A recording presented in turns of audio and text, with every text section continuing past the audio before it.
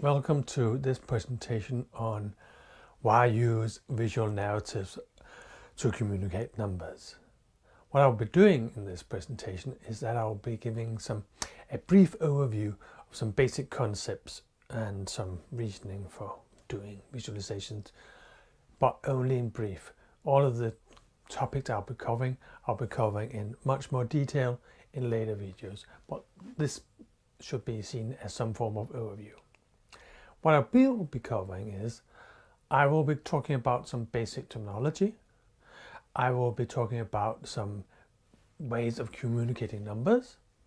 I'll talk about why you want to visualize data. How, what is the idea of visualization compared to other forms of communication? I'll be talking about what is the characteristics of a good visualization. I will also be talking about what is the characteristic of good visual narrative.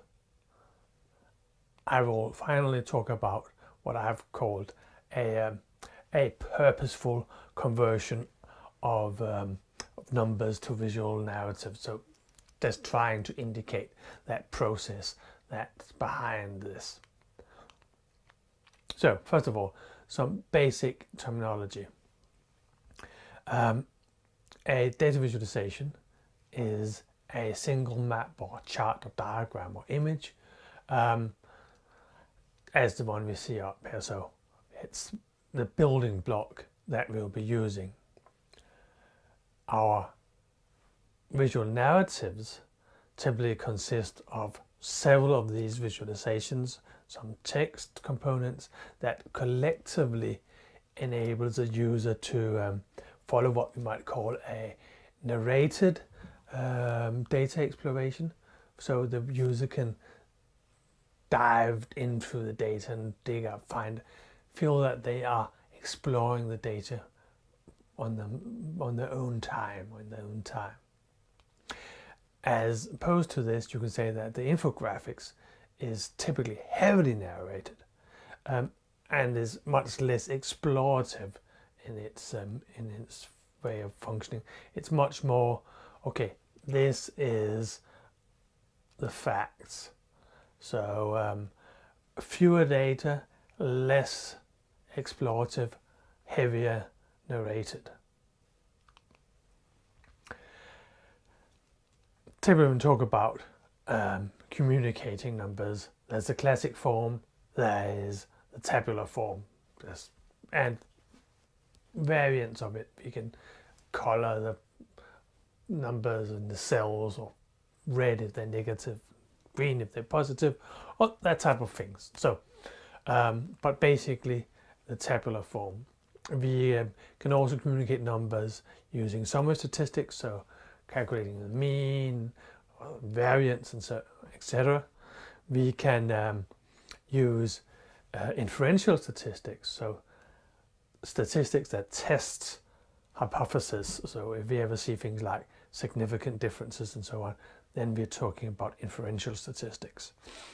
And finally, we can use visualizations or visual narratives as our way of communicating. So, um, why do it?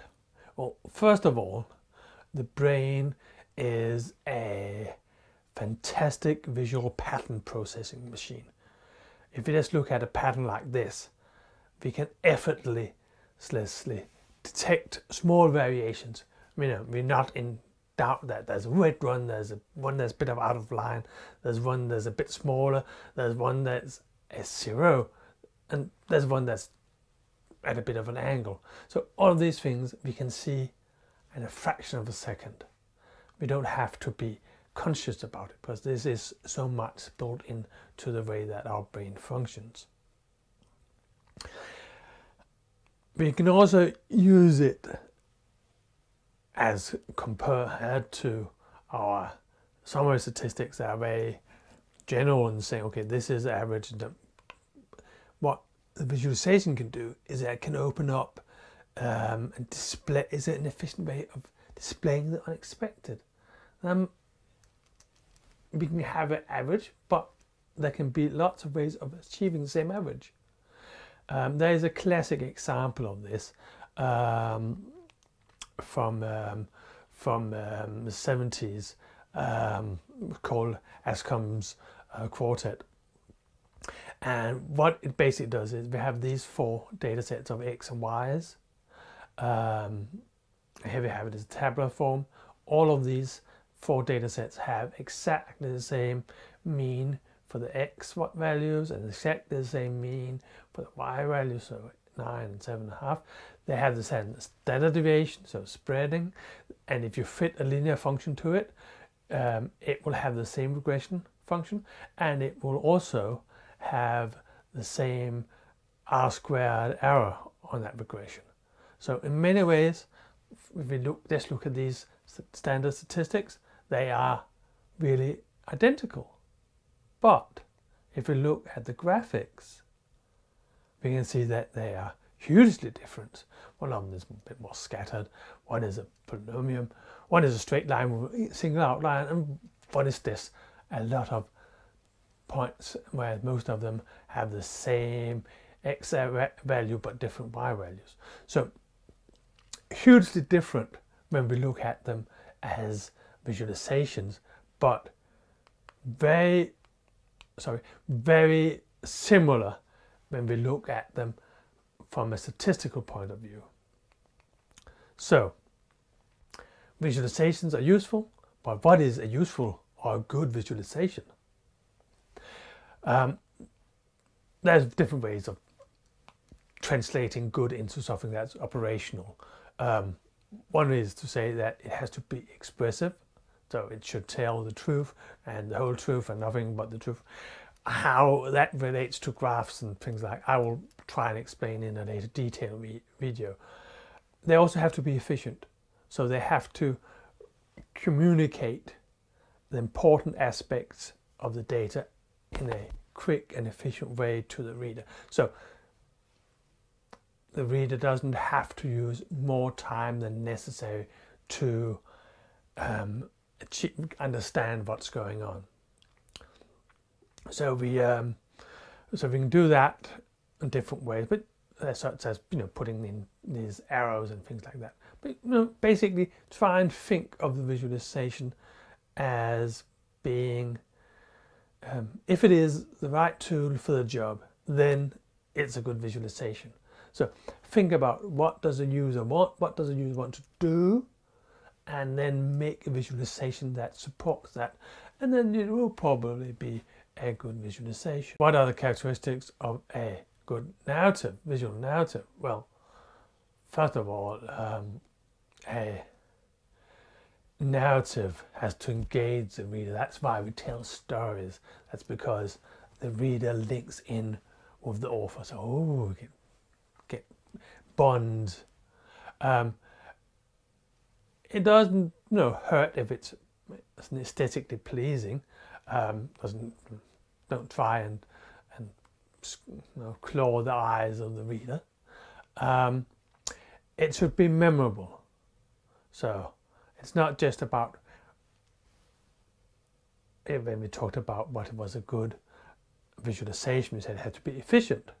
But when we talk about the narrative, we like the audience or the reader to remember what the story that we told, what was it go that was going on.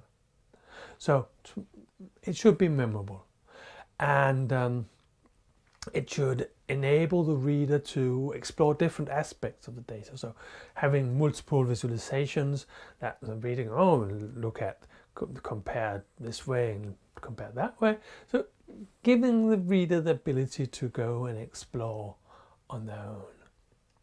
Um, finally, um, you shouldn't break or compromise the rules of a good visualization. So, um, you know, while this chart is, or visualization is memorable, um, it's not a really efficient um, visual, visualization or it, it is lots of clutter and it will take time to read because all of those things that are around it. Um, so yeah, it's memorable, but no, it's not efficient. That was, you know, my brief overview. Um, and all of these topics I've covered, I'll go into larger detail with in later presentation. So hopefully I'll see you there. Bye.